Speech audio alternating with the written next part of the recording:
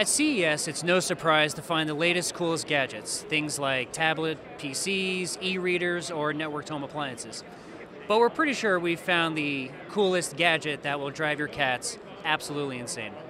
It's called the Sphero, and it works because it has a three axis accelerometer inside of it, pretty much the same one that you would find inside of your iPhone or Wii Remote. And it works basically by putting it down on the ground and use your iOS device or Android device to remotely navigate it through pretty much anything. A series of cones, you can do it up a ramp, uh, and the developers at Sphero have also included, uh, have also created an SDK which will allow you to create your own apps to pretty much make the Sphero do whatever you want.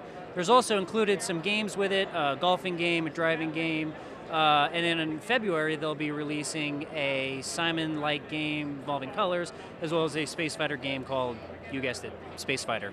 Now, the Sphero is available at GoSphero.com and it retails for $129. But remember, to drive your cats absolutely insane, it's worth every penny.